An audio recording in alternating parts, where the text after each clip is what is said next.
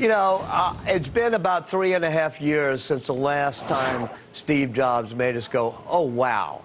And that was when he does the iPad. After having done the iPhone and before that the iPod, things we did not know we wanted until he told us they were indispensable to our desires. That hasn't happened in the past three and a half years.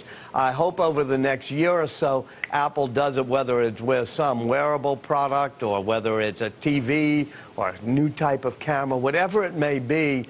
I want that oh wow moment. I think Apple's fully capable of doing it. You don't get better in a CEO than Tim Cook, and you're no greater industrial designer of our lifetime than Jony Ive. So they're perfectly capable of doing it, and I'm looking forward to it.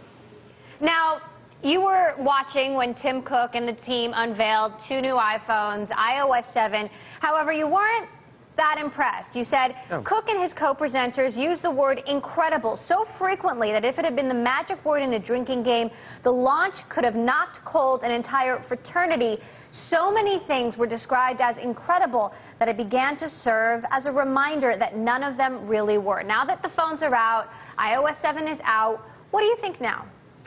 I do think that what they've done in the past three and a half years is build more beautiful products. But they've taken an inch off the uh, iPad and added an inch to the iPhone and added some color. It's not been a transformative product. I think that, you know, what we're looking for now is can you do something, as Steve would say, think different, stay hungry, stay foolish.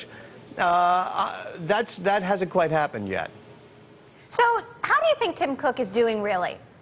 I think Tim Cook is running a very good, strong organization.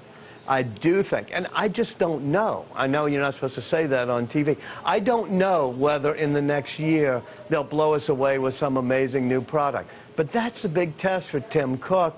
And my hunch is they got, to, I mean, but Eddie Cue, uh, Jony Ive, Tim Cook, you got some really great people there. My hunch is that it'll happen.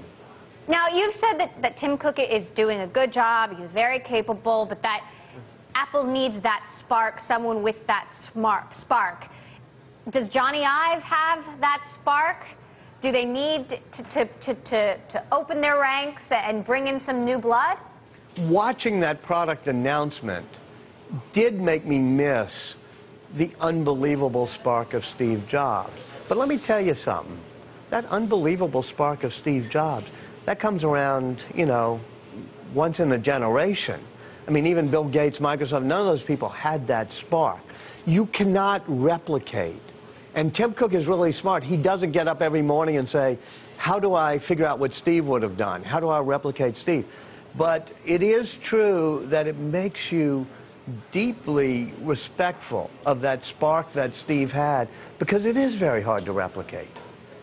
Now, on that note, everybody asks that question. I'm sure people have asked you the question, who's the next Steve Jobs? But let's, let's think about it in a slightly different way. Is there somebody in the technology world right now that you think could someday be that person who captures the fascination, the world's fascination, the same way that Steve Jobs once did? Absolutely. Elon Musk.